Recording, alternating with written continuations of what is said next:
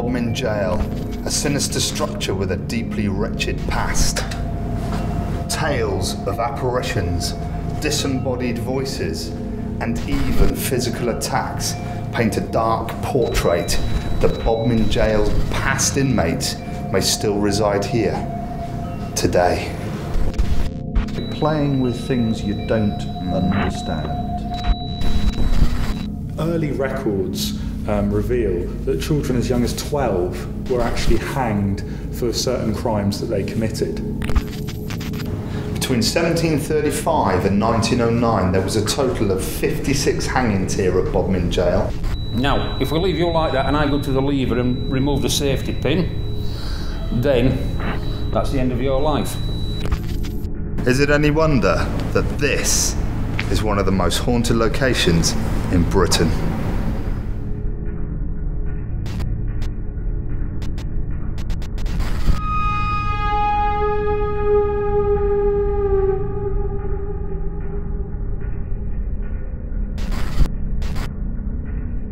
Countless reports of paranormal experiences spanning decades loom over Bodmin Jail. Are the lifeless souls of the past still imprisoned here? Do the granite walls still hold memories of those gone by? Dr. Ian Cooper, a local historian and consultant to encounters, recounts the location's dark history. In 1778, local justices were given permission to construct a penal facility here at Bodmin. Um, a year later, three facilities had been built one for serious offenders or felons, a second for debtors who owed money, and a third facility for minor offenders. Um, at the time, Bodmin Jail was regarded as a landmark in prison design. Uh, inmates, depending on the seriousness of their crime, were segregated, um, as were males and females. Uh, there is even hot running water and an infirmary for the sick.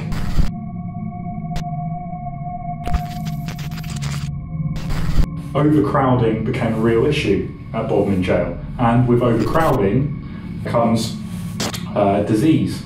And many of the population here, inmate population, suffered as a result, and some even died.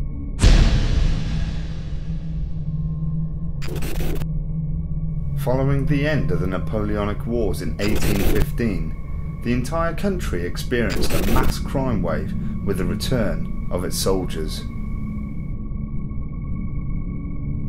So, would you say then that conditions improved over time in this location? Well, Jason, the, the overcrowding um, certainly became less of an issue. Um, by 1820, um, the inmate population had, had, had begun to recede. Um, but would I say conditions improved? No, I certainly wouldn't.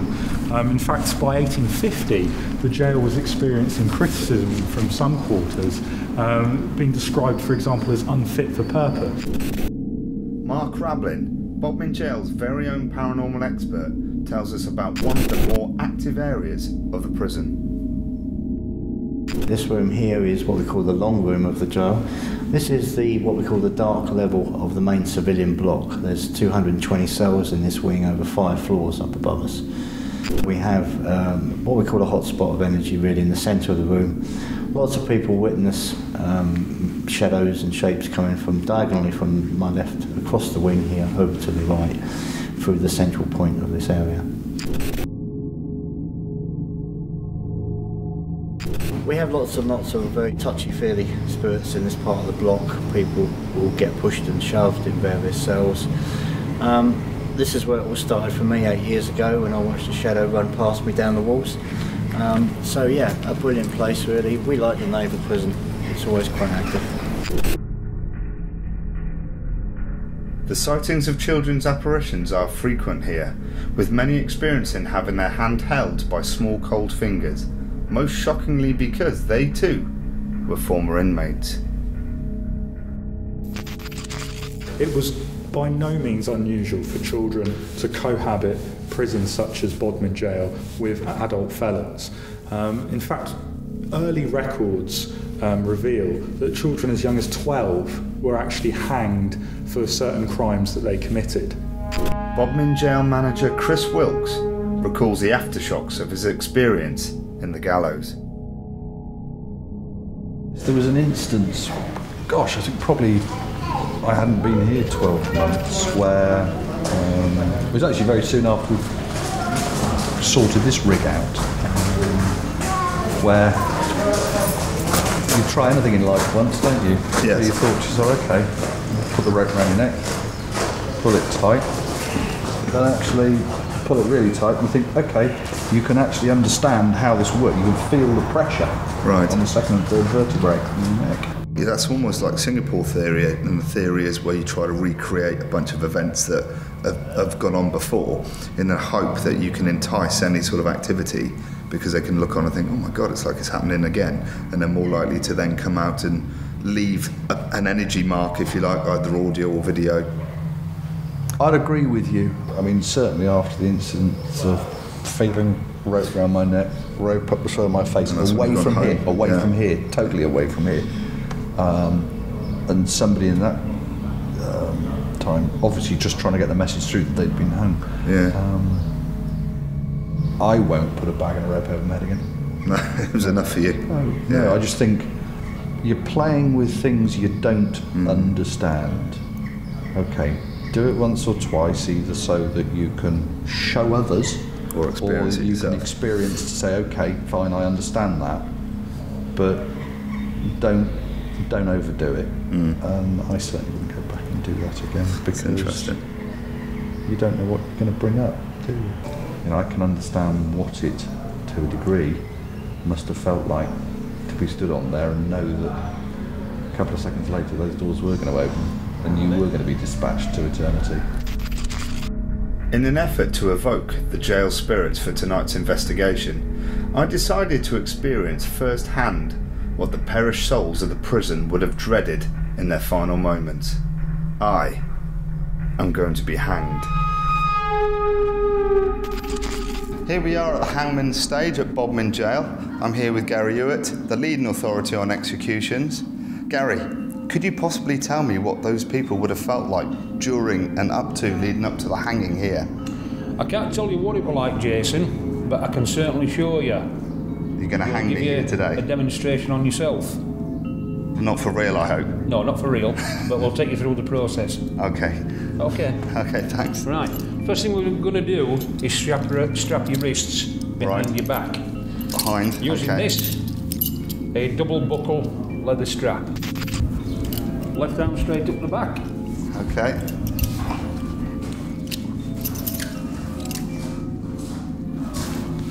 like so. And then your right arm goes across.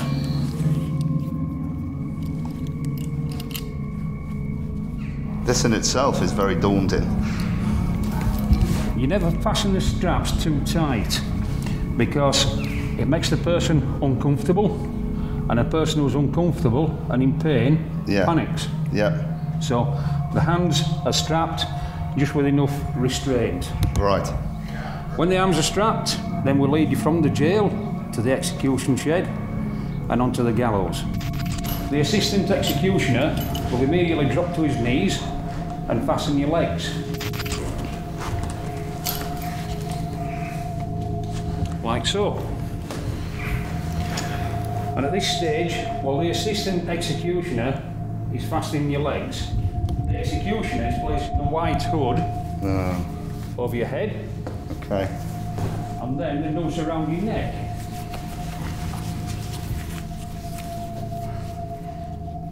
Yeah. The knot of the noose always goes to the left. Right. Because when the drop falls, the knot will slip to the front. So, throw your head back, pull your neck forward. Fracture and dislocate C2 and C3 in the neck. Death is instantaneous. That's very daunting. And that is exactly how they will be ready to go. I can see uh, it's, it's a horrible knowing. I even know that I'm not going to be dropped. I know that I'm going to walk away from here, but it still feels very daunting having this on. It's a very frightening process, but in reality, it's done in a matter of seconds. I was going to say, how long is it between having the bag and the rope placed on before the lever's pulled? Well, from the last man hanged in here at Bodmin, from him walking in through the door onto the drop to being dead were 10 seconds. he hasn't really got time to think about No, it, has he? no. The quickest ever time at an execution was 7.6 seconds, achieved by Albert Pierrepoint in 1950. That's amazing. Totally amazing. Now, if we leave you like that and I go to the lever and remove the safety pin, then that's the end of your life.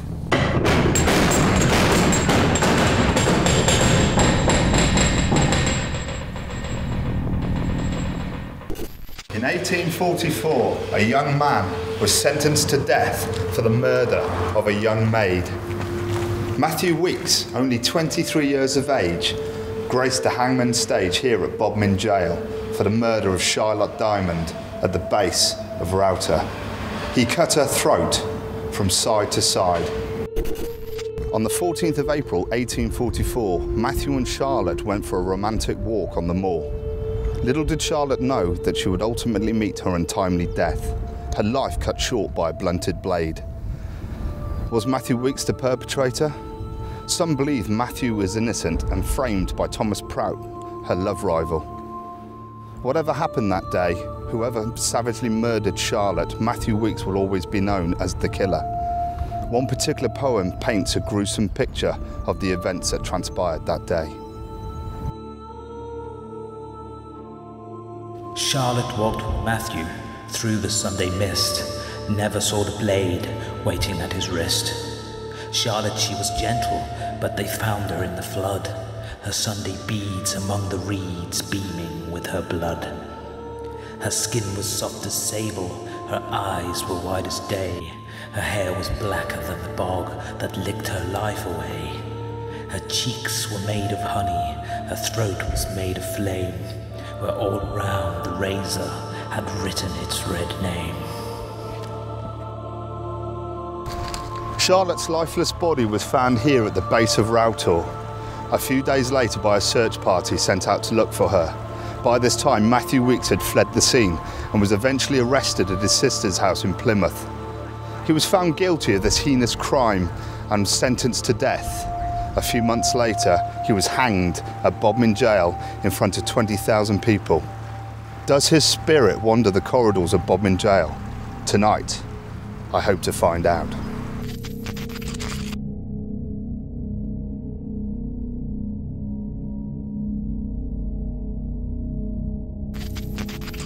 We go. 12 hours locked down on my own in Bodmin Jail.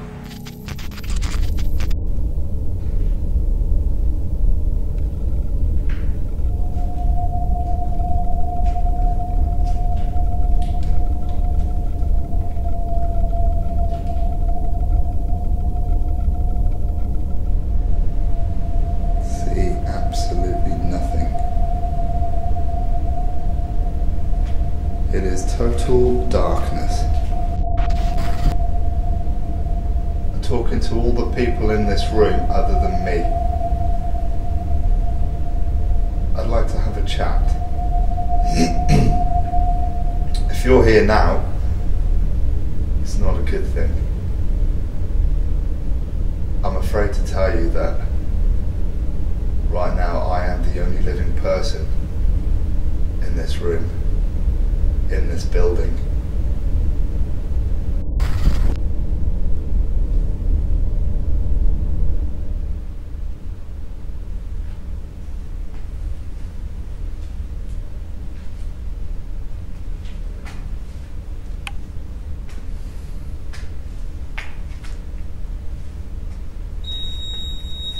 Whoa. That is the paracorder that's just gone off. That only goes off. It's static. I have to turn it off. There you go. That is unusual for that to be going off. Let's stay here for a minute.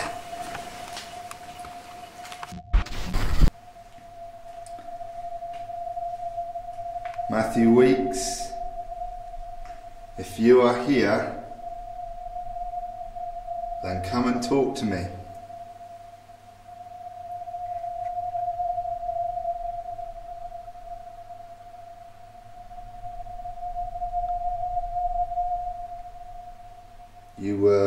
Executed for murdering Charlotte Dymond.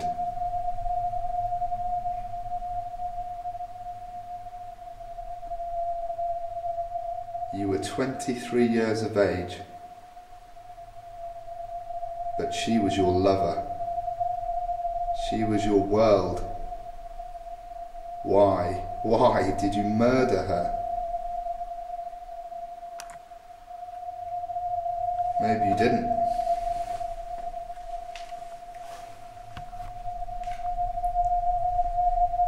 You did not murder the love of your life, now's your time to tell us.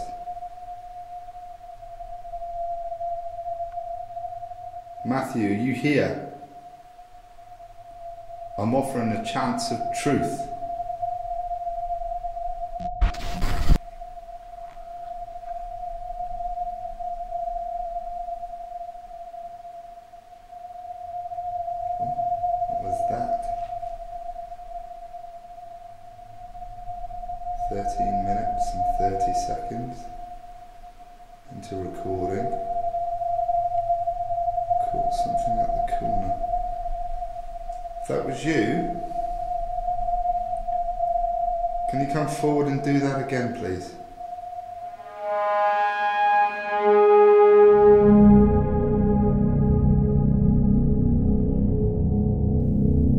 At this point, you'll notice something seems to appear from the bottom right hand part of the screen. A moment later, something also appears at the top right part of the screen. Could this be a flying object? Could it be a bat or maybe an insect? While I was filming, I also had a standoff camera locked off down the bottom end of the hallway. As you'll see, whatever was visible on, on the hand cam is not visible on the tripod cam. So if it was a bat or an insect, it certainly didn't become visible on the other camera. Talking to the spirits of Bodmin Jail.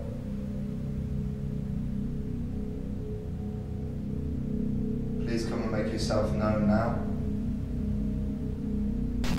During the time in the basement, my voice recorder was continually running, and upon review, I heard what sounds like an inaudible voice. I can't seem to make out what it's saying. Maybe you can.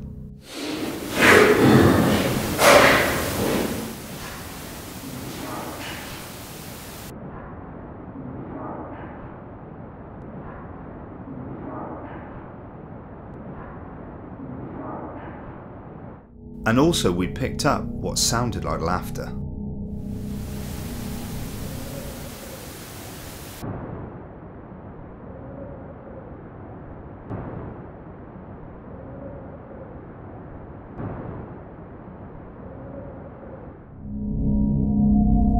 These sounds were, they certainly weren't audible to my own ears, and they also didn't come out on any recording equipment such as the cameras, just the voice recorder.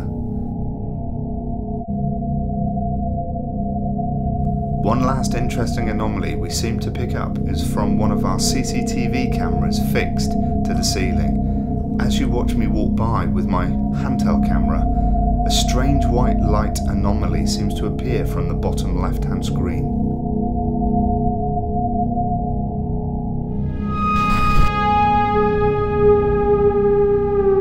As the night drew deeper, I moved the investigation to the long room.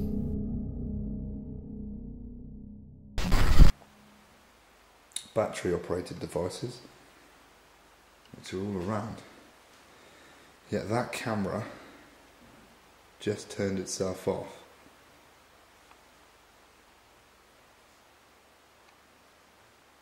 And every now and then, from here, a weird clicking sound.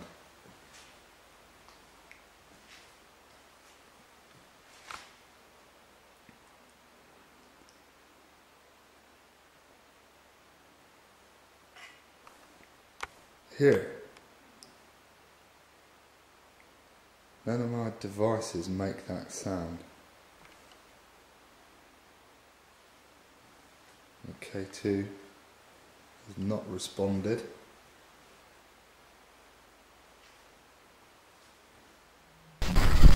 K two just lit up then. Can just light the K2 up?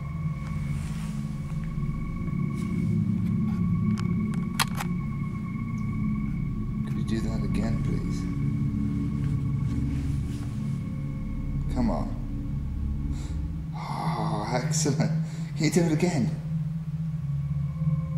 Come forward, please.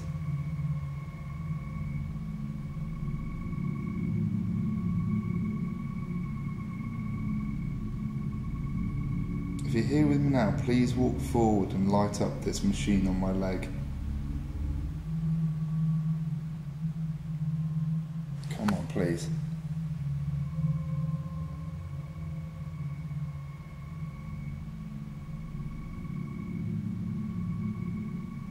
Just done it for me. You can do it again. Don't be afraid. All I want to do is talk to you.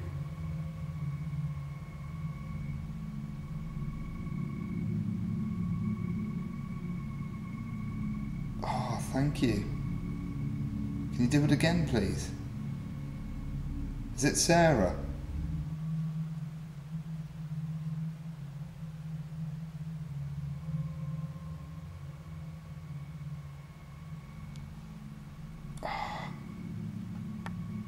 Sarah, hello. My name's Jason. Are you willing to talk to me tonight? Something down there.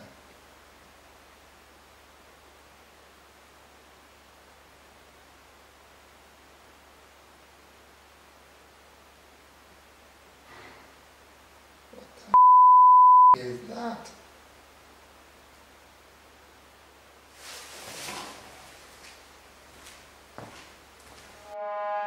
Clearly, I hear a loud bang here, which is also picked up on our various equipment around the room.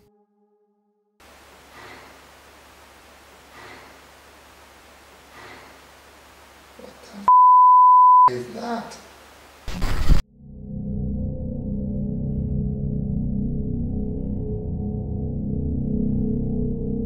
As you will see, we caught nothing on the thermal imager, but the sound, the loud bang, and the anomaly with the K2 is unusual because you have to remember I am the only one in Bodmin Jail at this time. Here we are in the naval wing.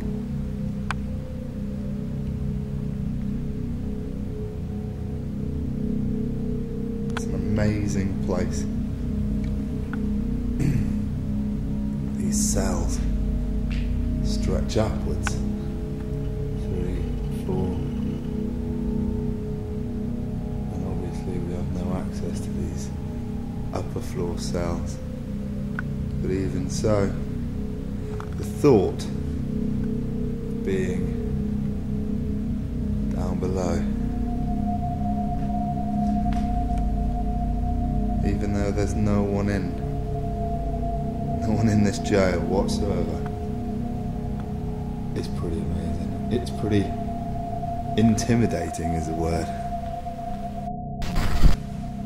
That camera has just turned itself off. This camera turned itself off earlier on its own. Both have got ample battery life left. The DVR for recording on the thermal imager is just stuck on and I cannot turn it off. And this is all since we've been in this cell and we've only been in here five minutes. Something doesn't want us to use technology in here.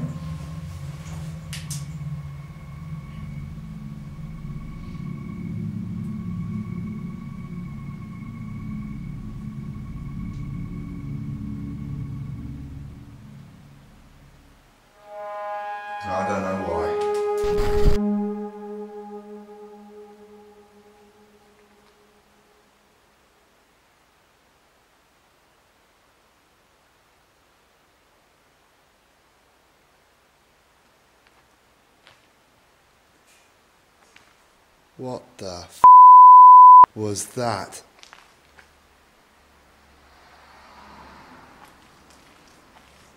That was That was in here.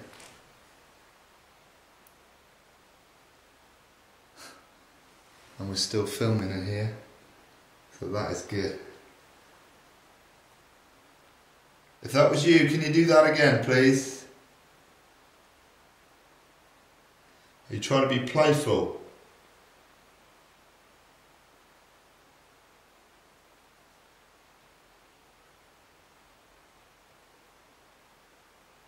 Come on. I don't scare that easy.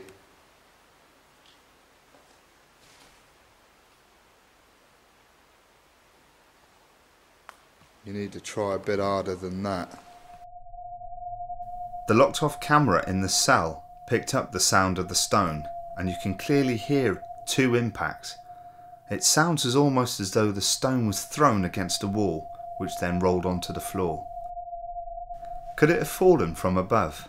It seems unlikely due to the sound and the nature of the impact.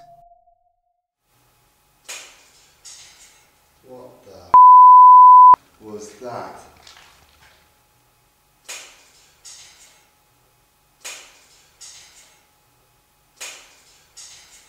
What the was that?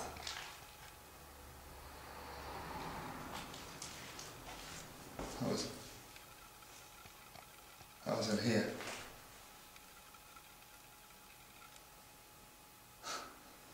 And we're still filming in here.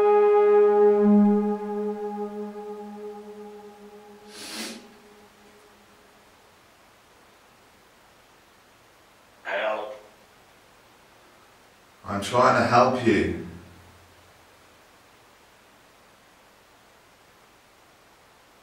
Can you not show yourself to me? Really appreciate if you could show yourself to me right now.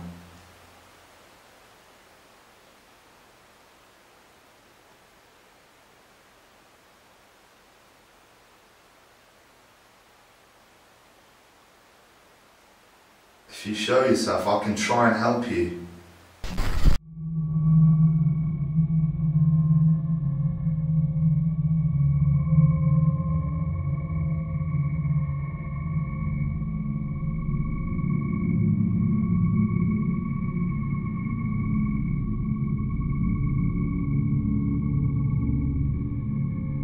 As we moved into the witching hour, I moved my investigation to the upper floors of Bodmin Jail. This floor. That's Mark, the Bodmin Jail paranormal expert mentioned previously, has been known for transfiguration and potential demonic spirit.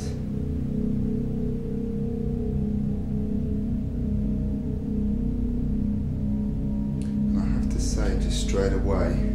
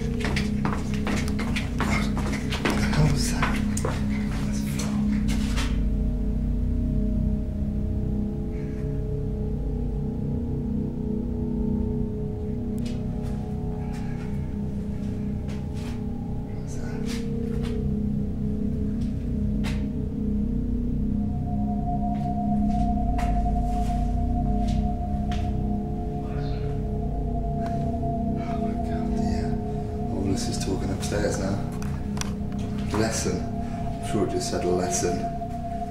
They're trying to teach me a lesson. I can tell you right now that this experience is becoming more unpleasant. You will notice that what seems to be an orb appears at the bottom right hand of the screen. At first, it seems to have the characteristics of a flying insect, but you will see that it suddenly manifests itself on screen. It was an interesting evening at Bodmin Jail, and an amazing, if not eerie, experience being locked down for 12 hours alone in such a foreboding atmosphere, especially in the dark of night. My expectations were overwhelmed with personal experiences, and I certainly felt on many occasions that I was not alone. Were the spirits of Bodmin Jail toying with me? What the is that? It seemed as though I was being watched and studied at the start of the night in the basement. Did I make contact with the prison's eternal souls? Were they responsible for the stone thrown and the various visual and audio media we captured? It is certainly a place for future research, and I can't help but feel that the spirits such as Matthew Weeks and Selina Wadge are still lost here.